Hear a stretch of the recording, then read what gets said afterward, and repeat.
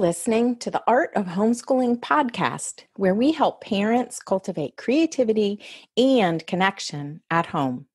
I'm your host, Jean Miller, and here on this podcast, you'll find stories and inspiration to bring you the confidence you need to make homeschooling work for your family. Let's begin.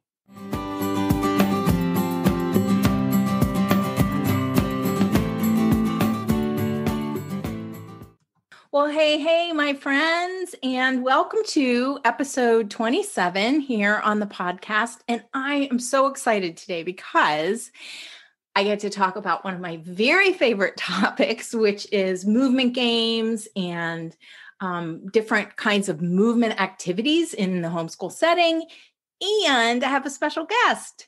So I'm really excited to be talking with Brian Wolfe from Waldorfish. Hey, Brian.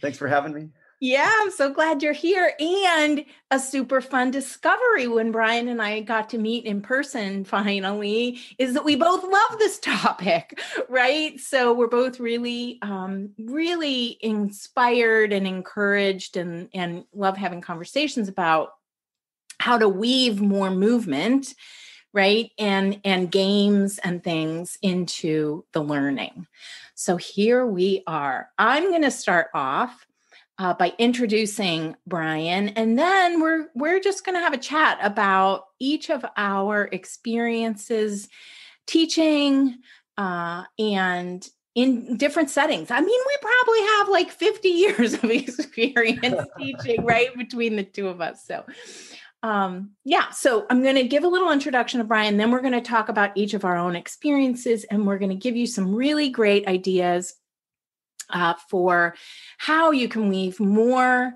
movement and game type of activities into your homeschooling day, because it really does help provide a fabulous foundation for learning. All right, so let me first introduce you to Brian Wolfe from Waldorfish.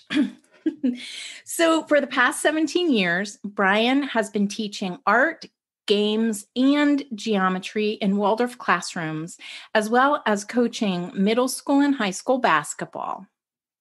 In addition to teaching online with Waldorfish, he's traveled as far as China to mentor parents and teachers in a Waldorf ish style. Brian has developed a calm, practical approach to teaching with equal parts fun and playful sarcasm mixed in. When he's not noodling on his guitar, you'll find him cooking big meals for his family, practicing kickboxing with his stepdaughter, playing Dungeons, Dungeons and Dragons with his stepson, painting in the garage, waxing poetic about geometric geometry and the golden mean and playing with the family cats. So i'm so happy to have you here to talk about this this great topic of movement games. So thanks for joining me today. Yeah thanks for having me. This is awesome. Yeah really great. And uh, I thought we could just start off with a little bit about your experience teaching, uh, and parenting and all the things. And so, t- just tell me, because I don't even know this story, I don't think. Where did your journey begin as a teacher?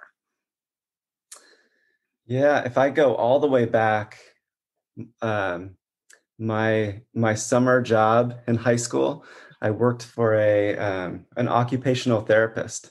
Huh. And I would go in, and my job was to play with the families of the patients. So there were there were children who were being treated, and my job was to come up with games and art for these families because that's what I liked as a kid. So um, so that was really where it started for me. That is great. And then um, so let me just interject. I find that occupational therapists really are dialed in, like they get the importance of play, right? Play yeah yes play and and movement just yes feel and touch and movement and yeah yeah it's really yeah. therapy through moving and being in the world so yeah, yeah. and getting more comfortable in your body such a yeah. great yeah yeah and so you know, if I back up even further, my mom was a teacher, public school, taught uh-huh. fourth grade for like 30 years. Oh my gosh. And so that, that's really where it started. Mm-hmm. And I was sure that I was never going to be a teacher because I saw how hard the job was for her. Um, but I didn't know I was like built on this path, building um, this love of working with kids. Hmm. Uh, and then so moving forward from there, you know, it's kind of interesting. Um, there's basketball in my bio, and that was my path to Waldorf. Oh, interestingly enough, um, a friend of a friend of my mom's. Um, I, so I was about, I was maybe 20, 22, 23 years old. Um, was studying anthropology in college. No idea what to use, what to do. Mm. Didn't know what I wanted to do. Um, and I was working night shifts in a warehouse at the newspaper. And uh, I really just I was really in a rut and stuck. And then this friend of a friend of my mom's calls and says, "There's this little Waldorf school, Northern California, that needs a basketball coach, eighth grade girls basketball coach." Oh my gosh. And I and I I was thinking, you know, high school basketball was a long ways away. I hadn't even thought about it. Um, and I didn't even have a concept of what an eighth grader was. uh, so, but I, I, I talked to the school. I showed up um, on the, the my first day to kind of meet the teachers and meet the kids and this was a little Waldorf school. Never heard of Waldorf before. Didn't know anything about it. And I walked up to the. Um, I remember walking to the office. You know, and it's this is a very rustic um, countryside Waldorf school. And I walked up to the office and said, uh, "I'm the new basketball coach." I'd only talked to people over the phone, and they said, and I said, um, "I'm the new basketball coach. I'm just looking for the gym." and so this this uh, person at the front desk walk, front desk walks me down to the parking lot and says, "When all those cars pull away, that's the that's the basketball gym. There's a little old wooden basketball hoop on the side there, and uh, and, I, and I remember walking past, and there's like there's like woodworking and uh, the third grade, you know, I didn't know what I was seeing at the time, but the third grade is doing cooking and they're churning butter and um, so I just thought, you know, what is this place? Um, wow. Um, oh my gosh. That's a funny way in, you know, like that you didn't even know about it, about the approach. Know. Yeah. Yeah. And it was so to answer your question, working with the the family of this little basketball team, six kids, you know, one sub, and uh, um, it was the connection of the the families and the, that atmosphere. Mm-hmm. Uh, that was my in, and they pulled me aside and said, um, "You need to go to Steiner College." Wow, that's really cool. So fascinating to me. You know, when I was in graduate school, I for for teaching, uh, and you know, I was a public school teacher before I had kids. I taught junior high and high school English.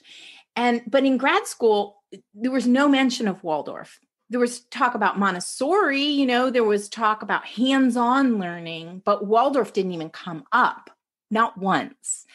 And uh, it that's really interesting to me because then I was a classroom teacher, and then got more and more uh, disenchanted and and discouraged from seeing really the the lack of curiosity. That's really what it was in kids who were you know 15 16 broke my heart. And then i thought there there has to be a, a, better way. And it's so interesting that you mentioned the art and the movement because to me those are two of the key um, components of really good learning and at the same time, if we bring it around to homeschooling, it's also for most of us we didn't have a Waldorf education ourselves. So when we are bringing this approach to our kids, it's something we're not very familiar with the art and the movement. It can be challenging, right, to to lead those activities in in our homeschools. So very interesting. Okay, so the corollary question for you then, before we really dive into all of that, is um, when did your love of movement begin? I mean, clearly you had basketball in your background, and so you had your own experiences with it. But in terms of the teaching, like with the kids, you know, related to uh, academics or, you know, the actual lessons, like where did that come? Tell, tell us the next chapter.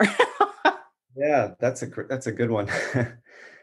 um, well, I grew up um, like a lot of people, public school, where it was just kind of expected as a young boy that you're gonna you're gonna play sports and um, and I had an active family, um, but I never considered myself a natural athlete or a great athlete. I just tried hard, and I liked that was kind of my social mm-hmm. experience, and and then I had kind of left it behind after high school. It's kind of like one of those things where you you, you kind of you know you get through PE and sports and um, but my love of movement really came back with Waldorf with um, through basketball again, but then that was kind of the end. And then so my first job at this at a different Waldorf school, my first actual teaching job, I was hired to be the art teacher and the games teacher. yeah. And I think what I realized was that I could go into a first grade classroom and I could ask, I could say, raise your hand if you're an artist, or raise your hand if you like to play games. And everybody's hand goes up. But then if you go into an eighth grade classroom or a room full of adults and say, who likes to play games and who is an artist, not so many hands go up. um, and there's, sorry for the noise there. Um, there's just this moment where we all start um, kind of labeling everything like, am I an artist? Am I an athlete? Am I, what am I good mm-hmm. at? What am I bad at?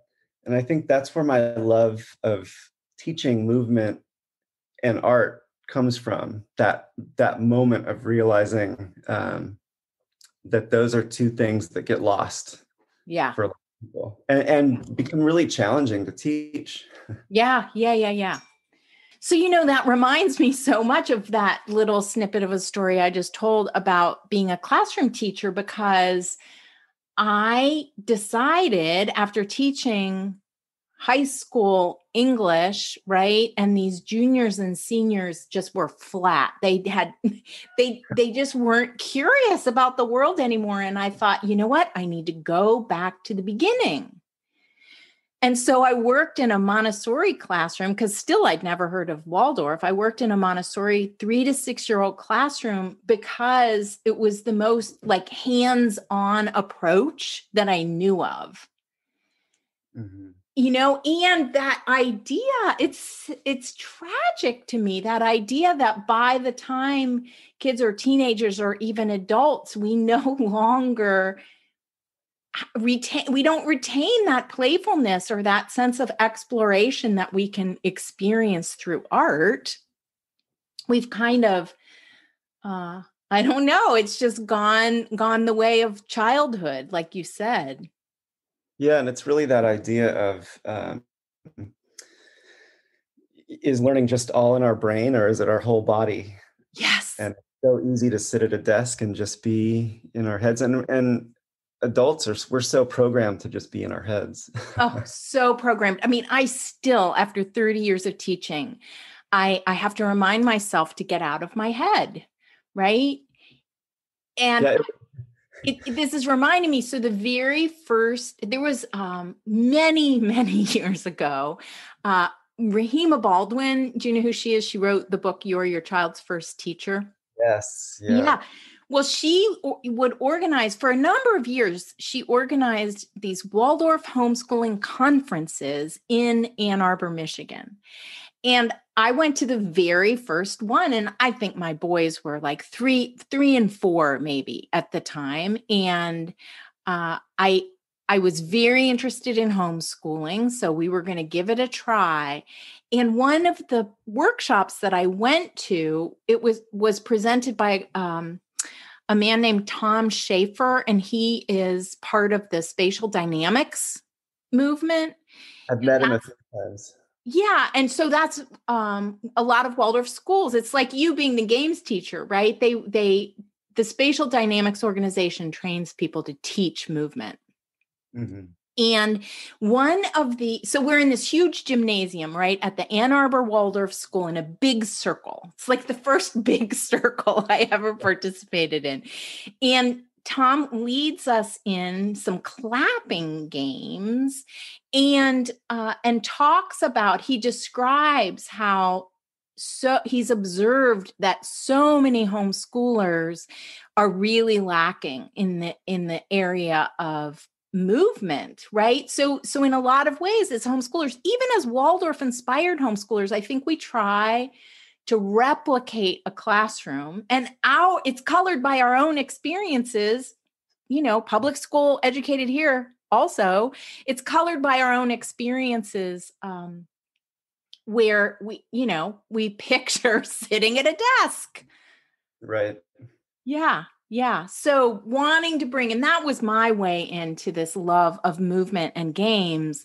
You know, I had these two very active little boys. My first two, our, youngest is a daughter, but the first two, 16 months apart.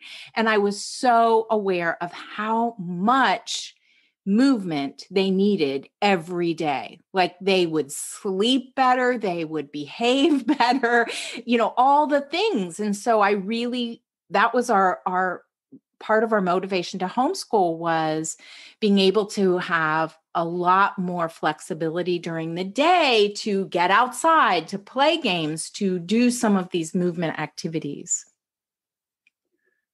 Yeah, it, makes me um what you're what you're saying makes me think of the you know in waldorf the think feel do the head heart hands yes idea and i i've always thought about how as adults we um we think first we're always in our heads and then yeah. we decide how we feel and then we act based on our thoughts and our feelings yeah. uh, and kids are so opposite they just you know they just do stuff. They want to do stuff and try it. And then that brings up feelings. And then the thinking is kind of the last part sometimes so.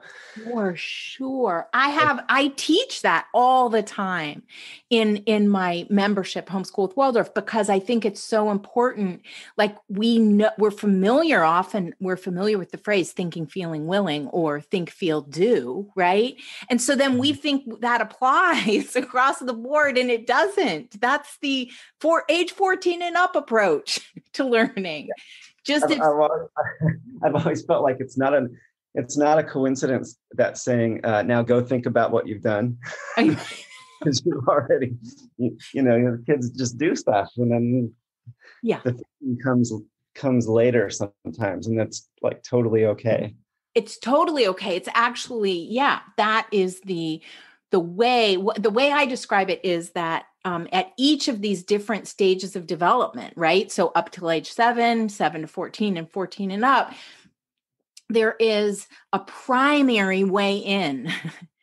and for yeah. 14 and up and adults, that is thinking. But for children until the age of seven, it's doing right? And then for children 7 to 14 it's feeling but doing comes very quickly right after that. It's the thinking piece that um that takes longer and is not their natural like first response, like first interest. And and I think if we want to honor the developmental, you know, stage of of children, we we have to be aware of that, right? Yeah yeah, and that's all about meeting them where they are and yes. uh, building yeah. rapport and all those things that are the ways in Yeah, for sure. So, yeah, so I was very aware that my kids needed, you know, lots of time to dig in the dirt and climb trees and do all of those things. And then we we did start homeschooling and I discovered bean bags. Yes. I want to talk about bean bags with you because I think bean bags are magical. You know, they're great for um, learning verses and warming up and learning math and all kinds of different activities. Um, and I know that in conversations with, you know, hundreds maybe more homeschoolers at this stage you know i i know that this idea of circle time doesn't always work at home you know when you have two kids instead of 20 yeah. but i still you know will share with with parents that you can do a shorter warm up or you can weave these movement activities into the lessons themselves or you know sprinkle them in throughout the day um, but i find that that beanbags are a great a great place to start. Oh yeah, yeah. Um, and that idea of forcing circle time it's really it's okay to um, improvise and just try everything and see what works and um, but oh i love beanbags. I didn't understand i didn't discover beanbags until i was in my 20s as a, as a waldorf teacher.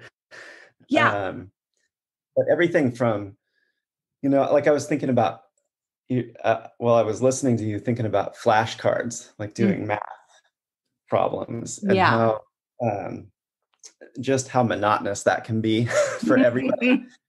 and uh, you know, just the idea of uh, can we do math problems just tossing a beanbag back and forth, right hand, left hand, passing them back and forth. Yeah.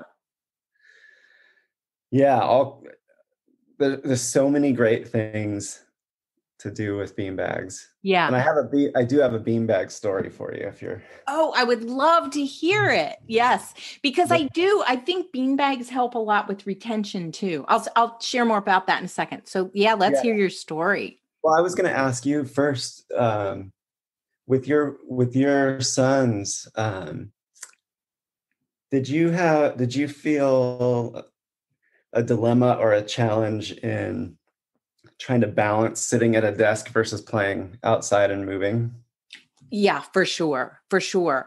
I, you know i i at first felt like and this is this is my own um like i think we can't help but do this but imposing my own perception of the world onto them right? That that mm. you somehow progress to being able to sit still at a desk for more and longer and longer periods of time. And so I, at first i really thought well there there's something wrong here right? And then i i um i felt like i needed to stop them right from when they were engaged in having a grand old time outdoors that i needed to stop them and bring them in for lessons and i had to work around that in a lot of different ways some some years when they were younger we would um, I would have to move from breakfast into lessons right away so that then they could get outside. Because if they went outside first, it was really hard to regroup. Yeah.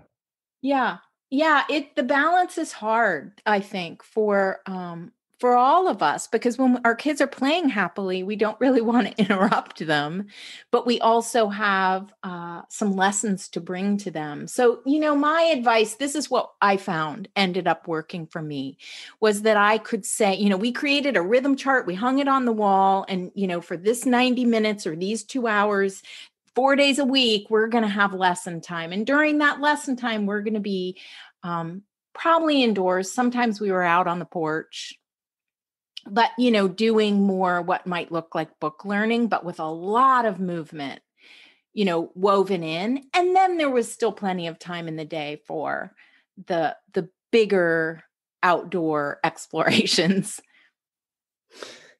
Yeah, I've that that's awesome. And it's, I think it causes anxiety for some people to try to think, you know when is when is my kid going to be able to sit at a desk and work yeah well i had that with my stepson where it was like he was hanging off the side of the desk and falling on the floor and tipping the chair over um, and so my story has to do with that transition back and forth uh, mm. uh, and i thought you i thought you'd get a kick out of this my my very first year teaching at a waldorf school so new. I didn't know anything. And um, I used to go into the first grade classroom at the end of their main lesson and then have snack with them and then take them out for for games class after mm-hmm. snack. And um, it was just a way to kind of just build a connection with them. And so I noticed that the teacher was struggling with with a brand new class of first graders trying to sit in their chairs because it's totally new for them to have like main lesson and desks and chairs because because kindergarten and preschool had been so outdoor play based for yes. them at this school and um and i'm coming from this coaching this you know public school coaching background grew up in a military family and um where you know you want to just discipline people and make them do it and yes. you know there's so many ways to make people do things right like you can yeah. take things away you can threaten you can force you can uh, raise your voice yeah I'll, so i'll never forget this um, the teacher this just incredibly gentle man um, with the, these brand new first graders he goes to the handwork teacher and asks her to have the kids each make their own special beanbag. Oh. Uh, and he's just kind of like doing the best he can with the this the very rambunctious class. Um, and each kid makes their own beanbag. So they have, you know, they've there's like a lot of pride around making your own thing. Mm-hmm. And I'm kind of watching uh, throughout the the next few weeks as they finish their bean bags and now all the bean bags have these little personalities they're all connected to each student huh. um, and then he tells them uh, okay so sometimes our bean bags are going to be the teacher and sometimes we're going to teach the bean bag ah. So he brings it into circle time and activities and the bean bags are always there they're they're handing them to each other, playing catch, tossing them, but they're really showing a lot of care for these bean bags. Mm-hmm. Uh, and then uh, there's probably more to the story that I'm forgetting. But then one day I walk in and they're, the the class is walking around um, and they're counting and they're walking as they count with the bean bags balanced on their heads. Mm-hmm. Just being able to move your body and count at the same time is can be challenging let alone balance the beanbag on your head. Yeah. Um and i thought okay well it seems pretty simple. Uh, but the moment of brilliance that i saw in this teacher um he said one day um all right class do you guys think do you think we can um or he asked the class, what did what did our beanbags um, teach us about um, balance? Mm. You know, what did we have to do with our bodies to hold the beanbag on our head or balance it on our elbow or our shoulder? So they all talked about it, and then he said, "Do you think do you think we could teach the chairs what the beanbags taught us? Oh my God. About how to balance our bodies?" wow and uh, and you know of course like somebody's going to make a joke and fall over in their chair and yeah yeah yeah like they're they're still kids but but i saw the like the, they know they know because they had it in their whole bodies because he taught them through movement and the beanbag um, they got the point that is Great. Oh my gosh. I have this phrase that I feel like sums up the Waldorf inspired approach, which is the experience before the explanation. And yes. kinds of little surprises, right? Where you actually allow the child to have the full experience of that and then relate it to something else.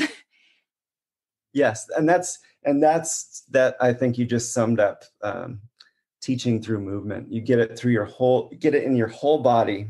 Yes. And then you can think about it all you want. yeah, exactly. And I find that even though children age 14 and up and adults, right, in- including us right here, even though our primary way into learning new material is through our thinking, we still benefit enormously from the feeling and the doing. And that's what rounds things out. And sometimes there's healing to be done, right? From from our own childhoods where we didn't have those kinds of experiences. Yeah. And I think that's where um, the idea of striving really comes in that the our kids learn more from seeing us strive to do our best than they do from us being experts. Yep. Um, yeah. That is we, something that is just so important for homeschooling parents to hear over and over. I mean, if somebody had reminded me of that every day for all the year 25 years I was homeschooling, it wouldn't have been enough. yeah. Yeah, it's it's so true. Um like wouldn't it be great if they if their memory was that we tried our best. we did everything we could. Yeah. It, it wasn't perfect, but we tried our best. yeah. Yeah, right. That is that is the best we could ask for, isn't it? Oh, that is a great story. You know, there and it's when we get stuck in our heads, I find that it's very hard to think about uh, creative ways of teaching something, but also that story, there's surprise in there too, right? Or there's a there's a um, a new twist on what they've learned that they weren't expecting. The children, yeah, and and, it, and it, it pulls in the the it builds like a narrative or, or a story yeah. that they can live into. Yeah. Yeah. It extends the learning, right? That's exactly what we're going for. So I just love that. Oh my gosh. Thank you for sharing that story. It's, um, I have so many fond memories of, uh, making bean bags. I think ma- children making their own bean bags is is just so uh, such a wonderful handwork project because they can personalize them and then and then they they do they become um, treasured objects right in in our homeschool lives. Uh, and uh, yeah i'm going to link to a couple of resources at the end uh, or in the show notes. Anybody listening you can go find the show notes at artofhomeschooling.com slash episode 27 and I'll link an article on my website that gives just super simple instructions for, for stitching bean bags, making bean bags out of felt and beans. um, so much fun. So I have a lot of fun memories too of, you know, that idea when I was talking about circle time. Sometimes it feels like too small of a group, right? In a homeschool setting. So I often encourage people to homeschoolers to find, you know, even neighborhood kids or cousins or, you know, homeschool co-ops or whatever to to do some games together. So I remember one year for our homeschooling co-op I offered a, a you know, everybody had to help or teach or something in some way in this co-op, all the parents. And I offered a group games class and I thought this is so silly. Like they're going to think it's silly. I knew the importance of all the movement and stuff, but the kids were over the moon. They loved this, right? And we met at a local park and we did the simplest things like two milk crates and a jump rope and we played tug of war and they tried to not fall off the milk crate, right? I mean, games that they had never played. Oh yeah, and and they'll take it and run with it, and it's yeah. and isn't it funny how adults, like even being a sports person, I remember feeling kind of funny playing those kinds of games when yes. I first started teaching, but they sure love it. They they love and they love seeing their parents act like kids. Yeah, for sure. Oh my gosh. Like something so, as simple as um, uh, put the math answers to the math questions on pieces of paper throughout the house or the living room and do do things like uh, read the math problem, but then we're going to bear crawl to the to find the answer, or yeah. slither like a snake, or do the zoo exercises. Um, yeah. Yeah. Yeah. Yeah. yeah. So, so another one of my favorite resources is um, a book by Kim John Payne. He wrote Simplicity Parenting, but his very first book is called Games Children Play. Children play. Oh, yeah. So good. And so, a couple of things. I wanted to read a quote from the beginning of that book because I just think this is such a fascinating concept. And he says that uh, movement games give us a sense of freedom and a sense of direction, and that movement is the origin of our sense of purpose. Isn't wow. that just so fascinating? Most brilliant teacher. Brilliant. Brilliant.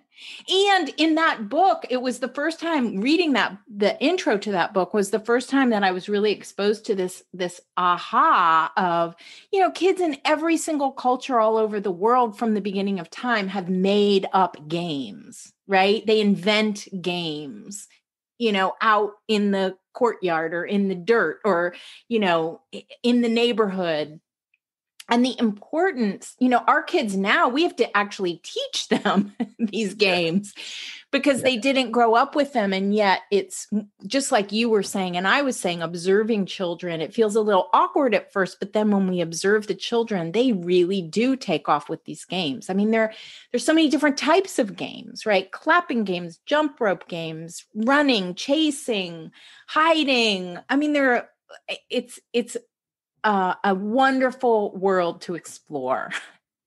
Yeah. Well, and there's that idea that um, by playing and playing games and making up games, and one of my favorite things that Kim John Payne talks about are the stages of play. Mm-hmm. And, you know, how important it is at, at, a young age, you know, kindergarten, preschool, um, to just play because they're trying to figure out where they where they end and the the uh, what how do I say that? Where, where do I end and where does everyone else start? Yeah. what are the boundaries? What can I do? It's it's a way to to test how the wor- world works in a fun way and uh, yeah, he really summed it all up there. Yeah. Well, and so to extend that beyond, so those early years, I mean, I do feel like a lot of educators now are beginning to embrace that, right? Finally, this idea that that young children actually learn through play. That's that's part mm-hmm. of the like it's a mechanism of learning, just as you described, right?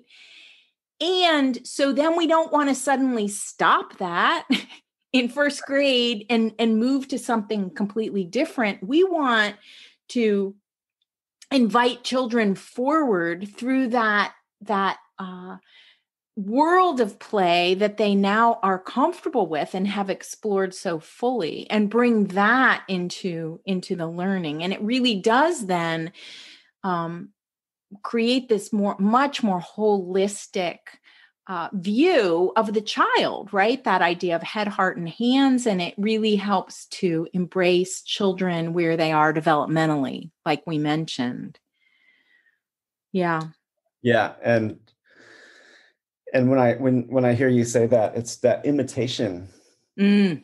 imitation is really important there and it sometimes gets lost when it's just filling out a packet or sitting in front of a computer. So, yes. Yeah. And, you know, the converse of that is it can even get lost in a homeschool setting because we, um, I just think parents and teachers, we, we, we take on this responsibility, right, of teaching children. And it it is a big responsibility and it, sometimes it feels so huge that we that we want to rush it or something Yeah. It's it's hard to give ourselves a break. it's, it's hard to give ourselves a break. But then we also then we also like I know I I can beat myself up for like well that was that was not an inspiring uh, session that we just had or right. Uh, well, and that, you know, games and play sometimes feel like extras, you know, like that they're yeah. not that sure they're fun and maybe it's easier and all of that as long as we sort of have an idea of a list of a few ideas of activities to do but it isn't extra so that's what i want to i hope all of you listeners are hearing that brian and i are giving you permission to shift your thinking into like being able to embrace play and games and movement activities um, embrace them as learning activities really right? As part of the learning. So if you need a little more permission i'm just going to read a couple of things that play and and not just play but games and movement can bring uh, to a developing child right? They're rhythmic they help build awareness and focus actually. So that idea of you know the, the kids falling off their chairs or when you were talking about your stepson and wondering like what's normal here? I had the same with my my boys. They'd be like tapping pencils on the table or you know making little sa- mouth sounds or whatever while we were doing lessons. And then I remember reading an article about how um, the neurology of of developing brains is that that those movements they need movement right? So those movements are actually helping them focus even though it's distracting sometimes to us. Um, so that idea of movement builds awareness and focus and uh, it helps to ch- children to develop their senses and that that um, their uh, balance in so many different ways mentally and physically their sense of balance. So i like to say you know one of my mantras is we we want to warm up our bodies so we can get our minds ready for the lessons right? And then keep weaving the movement in all day long. Keep moving yep. Yeah yeah keep moving yeah. It's it's interesting to me because Steiner himself when he when he developed that first Waldorf school, he had this sense about all of this, but he didn't have the science to back it up and now, you know, neurology, neuroscience is finally really catching up and seeing that um, you know, movement is really important. I, I I'm heartened to see that teachers even in classrooms some of them have yoga balls instead of chairs, right. right? They take brain, what they call brain breaks, and they weave movement in because we now know from a scientific perspective that this is healthy, right, for children and learning. Yeah. And we can see it with all you have to do is walk into a, a kindergarten and see how important play is. It's, it's, uh, Yes. It's right there. it is right there. Yeah. Yeah, and so that that role of the of the observer, right? As an adult and as a teacher, um the importance of observing so that uh, we can see where the learning is happening, right? We can see it blossoming. I think it's fascinating. Back to your beanbag story that you you know when you went in to to have snack with those first graders and then take them out for some games you you were in the presence of a brilliant educator right who had experience observing the children and bringing them what they needed. Right and, and i'm the first to say that i you know i never would have thought of that. We it's just the more we can observe and um, just kind of try everything like there's no one right way to do it all we just we just watch and learn and try stuff and mm-hmm, mm-hmm. Okay. yeah and it's going to be okay so as we wrap up i i want um, us to just share a few really concrete ideas that homeschoolers can um, can embrace at home to integrate more movement into their day and uh, and that idea that you just shared about how um, we really can like our role is to observe and to experiment. And for some reason, with the Waldorf approach in particular, but I think this is true for teachers in general, for some reason, we think our job is to find out how to do the right way to bring the lessons to the children and then do it. and then yeah. we think that's it. and really it's it's experiment, see how it goes, change yeah. up a few things, try again. Try things like like counting while you walk and see if the if the math is in their body. Just yes. little simple things. Right. Yeah. Yeah. Yeah. So I just as we wrap up, do you do you have any sp- other specific ideas for what um, things homeschoolers could do to bring more movement to the day you know throughout the day or during during a warm up time circle time kind of setting yeah so just starting with the beanbag um, just balancing the beanbag head shoulders you know um, hands tossing the beanbag back and forth um, when you're asking questions, answering questions. It's kind of like this physical um, give and take, like learning to communicate with the bean through the bean bag. Mm-hmm. Um, and um, I guess I would say anytime that it feels like you're just sitting in a chair at a desk, just to kind of think, how can I how can I move? Is there can we can we go for a walk and learn this stuff? Can we go to the park and work on this lesson? Um, and um, yeah, and just kind of kind of build a rhythm into it. I mean, there's so many games and um, and things you can play, and I love the way that you found some other people to play, and hopefully. Um, hopefully in the near future we'll be we'll all be able to play together again and right yeah yeah yeah yeah um you know a couple of other things that that makes me think of is um just that one of my favorite ways of using beanbags is to memorize poetry, you know, to memorize verses or songs because it really the movement helps us remember right? It's easier to to if you've ever try this experiment you can try this experiment at home. Um, where you you try to memorize a poem just straight up or try it memorizing a poem while adding in some movement. It could even be clapping if you don't have bean bags right oh but, so so great for poetry yeah, yeah, because it's so rhythmic. It's a rhythmic language, right? And uh and so um it's just a super helpful helpful way. And to me this is movement is just one of these lively arts, right? Um I did an episode, I think it's 25 all about the lively arts, but it it's one of the ways that we can bring the learning alive, that we can help to make um, the learning more engaging so that children retain it better, right? Because the, there really now is evidence that hands-on learning helps children with retention. Can I can I throw an idea at you for your uh, beanbag poetry? Yeah. Um, here, this is a fun one.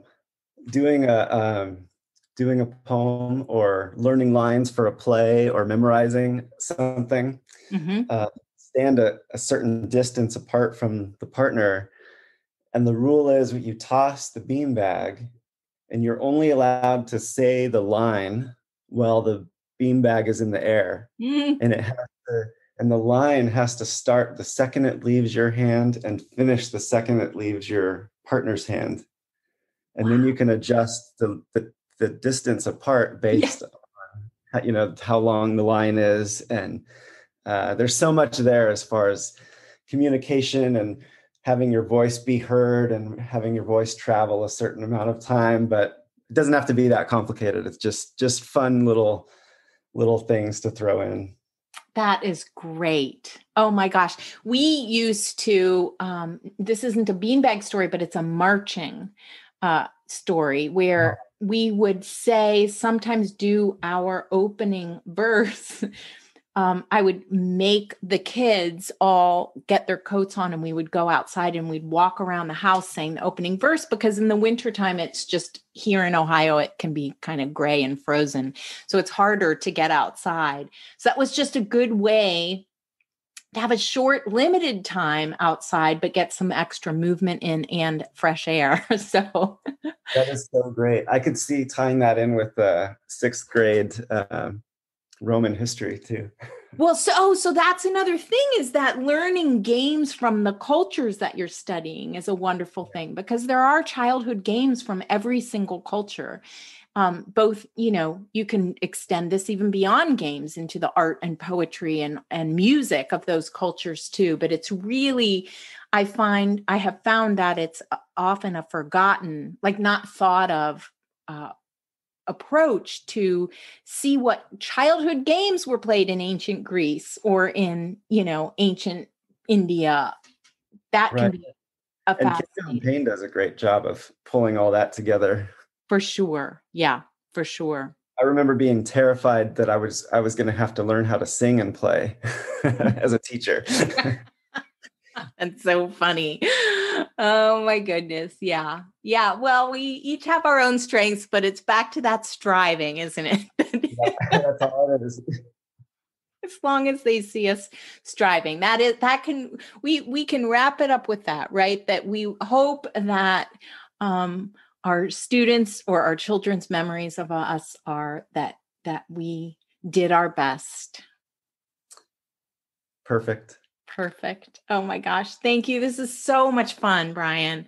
Thank you um, so much for having me. Thank you. And Brian and Robin uh, of Waldorfish will again this year be uh, presenting at Taproot, the Taproot teacher training. So I'm super excited about that. And uh, Brian, let our listeners know where they can find you.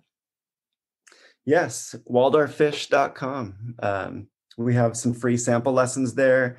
You can get an idea of um, uh, of what we do and who our teachers are, and find us on Instagram at Waldorfish.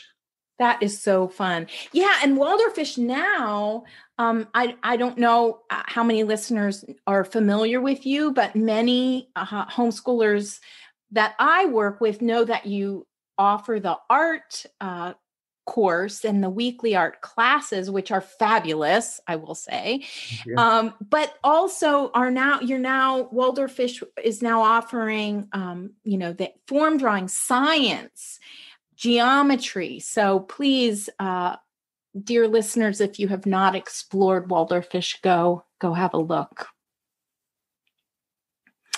and thank you, thank you, Brian. This was really fun. Um, we'll have to we'll have to do this again uh, and share more stories. I'd love to have a conversation with you about art. Thanks so much. We could probably go for hours. I think we could. So, thanks again for joining me today. And all of you listeners, if you want to, uh, there'll be some links to any of the resources we've mentioned over in the show notes. So you can hop on over to artofhomeschooling.com slash episode 27.